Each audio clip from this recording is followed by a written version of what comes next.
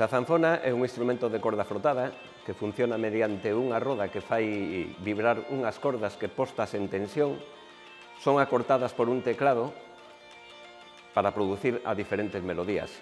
Ten ademais unhas eh, notas pedais de acompañamento para asegurar, para afianzar unha, unha tonalidade concreta e está composto por unha caixa armónica, unha caixa de teclas e o elemento principal que produce o sonido que sería a roda.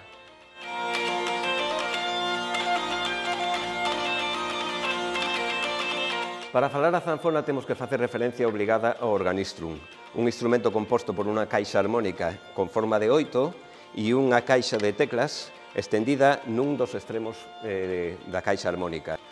Ben, aquí podemos ver hasta onde se estenden as cordas, o punto de apoio, os elementos que as tensan e o movimento das teclas que o executante vai accionando para acortar a distancia de vibración. As cordas están tensadas en dous puntos e a roda roza por baixo as cordas para producir o son. Este instrumento, dado as súas grandes dimensións, era interpretado por dúas persoas. Se cree que o aprendiz lle daría voltas á manivela ao mesmo tempo que sostén o instrumento para que non se calla e o maestro faría tiraría das teclas para producir as diferentes melodías. Coa aparición dos primeiros órganos, o organistrum é desplazado das igrexas pasando a mans do povo, que reducen o seu tamaño. Como vedes, o sistema de funcionamento é exactamente o mismo. Unha das principais diferencias é que o teclado, que antes estaba posicionado nun dos lados da caixa armónica, pasa a estar encima da caixa armónica. E outra diferencia sustancial é que, se antes se tiraba das teclas para producir o sonido, agora se vai a pulsar delas pola parte de diante.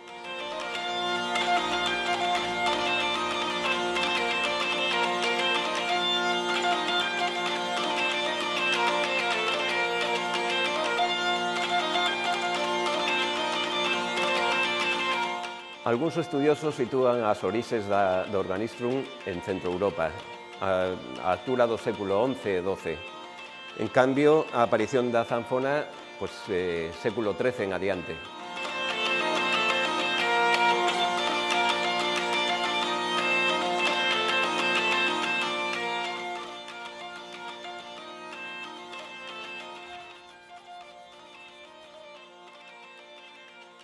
Arrancamos a construción da zanfona pola caixa armónica. Empregaremos as mesmas tabuas que utilizan os guitarreros nas guitarras. Aquí podedes ver o que vai a ser a tapa armónica. Aquí o fondo, sempre composto por dúas tablas semelgas. E estas pues, serán, serán as pezas laterais. Con este elemento que se pon quente, damoslle a forma e a vamos presentando no molde correspondiente. Unha vez domados os aros e metidos dentro do molde, procedemos á colocación dunha serie de pezas internas chamadas tacos e travesaños que lle van a dar consistencia á, á estrutura da caixa armónica. Aquí podedes velo en esta outra zanfona con todos estes elementos armados. Este é o clavixeiro, un elemento que soporta as tensións das cinco cordas que ten a zanfona tradicional ibérica. Está rematado en voluta, aceito das zanfonas tradicionais. Aquí o podedes ver colocado a continuación da caixa armónica. E aquí a roda, o elemento que vai a facer sonar a zanfona. É desmontable, se pode colocar e poñer cantas veces sea necesario para a súa retificación, se fora preciso. Esta é a caixa de teclas. A distribución do teclado se corresponde con unha operación matemática. Como podedes ver, hai dúas filas de celdas correspondientes ás inferiores ás teclas naturales e ás superiores ás alteracións. Cada tecla, no seu emplazamento, con un suave desliz, e a ubicación na caixa armónica sería esta. Ben, este é o cordoeiro, un dos elementos tensores que vai a soportar as cordas cantantes.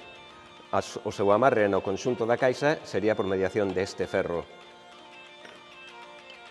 E aquí temos a ponte, que é a principal transmisora das vibracións ao interior da caixa armónica.